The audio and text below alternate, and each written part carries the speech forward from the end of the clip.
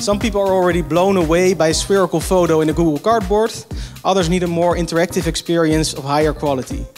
But almost everyone seems to have one experience where they get truly amazed. During this symposium, we're exploring uh, what the possibilities could be of virtual reality to, uh, to use it in science and education. VR is a very exciting new development. There are, uh, it's used for gaming and, and, and, and cinema, but how can we use it for, for these fields?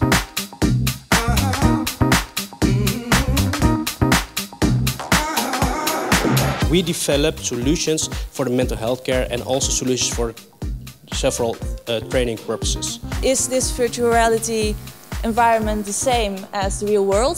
Or is there really something different? Is there a way our brain reacts with it differently uh, that we have to account for?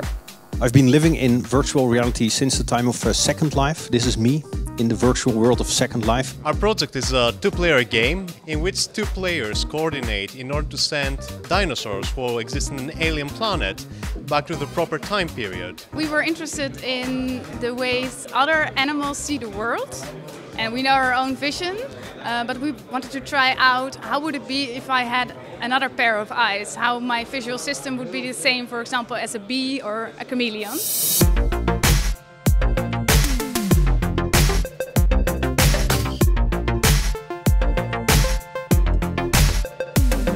I think the entire day was, was great. Many different viewpoints, many different presentations. Uh, so yeah, many inspiring uh, things to uh, think about.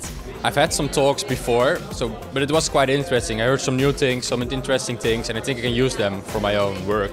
I think the future of virtual reality will mostly uh, be on two levels: uh, uh, the more serious side, uh, healthcare and education, and the more yeah, fun side of entertainment. And then hopefully, yeah, we'll see where it where it goes from there.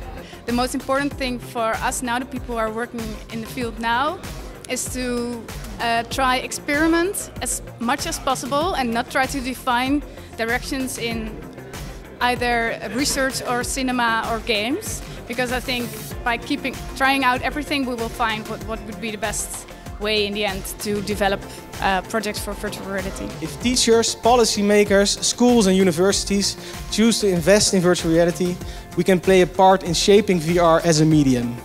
In this way we can contribute to making VR more than merely a new platform for consuming entertainment, but rather as a powerful tool for education.